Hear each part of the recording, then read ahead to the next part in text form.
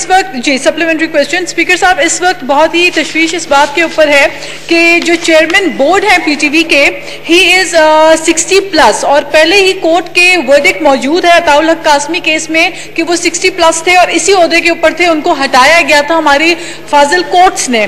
तो फिर किस तरह हो सकता है कि एक प्रेसिडेंट मौजूद होने के बावजूद जो है ये वायलेशन हो रही है हमारी अदालती फैसलों की? और दूसरा इससे रिलेटेड सवाल ये है कि एम डी साहब जो है वो ड्यूअल नेशनल होते हुए ये स्टेट चैनल जो रन कर रहे हैं, हमने देखा कि गुजशत दिनों दो प्रोग्राम्स में पाकिस्तान के गलत नक्शे दिखाई दिए गए दिखाई दिए, और वो भी एजुकेशनल प्रोग्राम के अंदर। तो ये बात तो काबिल कबूल नहीं है।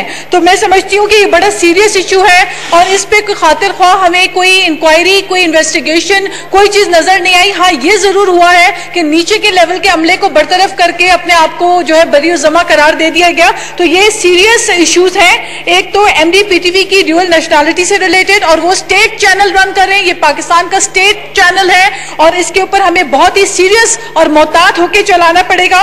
और साथ में जो मैंने आपसे दरखास्त की है चेयरमैन बोर्ड की?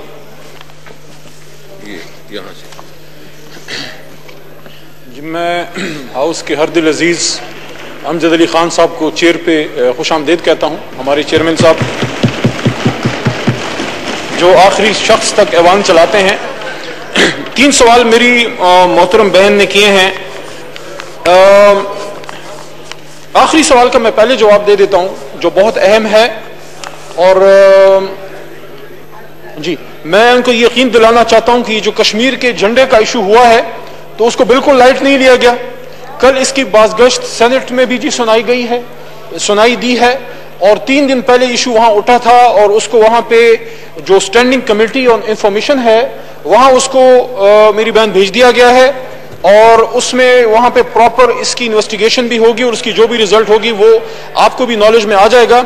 अगर आप समझते हैं कि हमारे इस हॉल से, इस ऐवान से भी जाना चाहिए तो मैं, मुझे कोई एतराज़ नहीं है। मैं रेकमेंड करूँगा कि इस पॉइंट को, कि ये पीटीवी की ट्रांसमिशन में कश्मीर का झंडा पाकिस्तान के झंडे के साथ नहीं दिखाया गया तो उसको मैं रिकमेंड करता हूँ कि हम अपनी भी जो इस ऐवान की स्टैंडिंग कमेटी है, वहाँ भेज दें। नंबर वन नंबर टू आपने पीटीवी के हवाले से बात की है मैं ऑफ़ द कफ कोई बात नहीं करना चाहता चाहूँगा, उसके लिए मेरी रिक्वेस्ट होगी कि आप एक फ्रेश क्वेश्चन पीटीवी के हवाले से दे दें। वैसे भी पीटीवी के हवाले से आगे कॉलिंग अटेंशन भी आ रही है। आप ही के मौजूद मेम्बरान साहबान वहाँ उसमें मौजूद हैं। तो कुछ डिटेल डिस्कशन उसमें हो जाएगी, लेकिन अगर तशनगी रह जाती है तो आप आई वुड वेलकम कि आप उसमें फ्रेश क्वेश्चन या कोई कॉलिंग अटेंशन दोबारा डाल दें। उसका जवाब हम आपको इन्फॉर्मेशन बेस दे देंगे।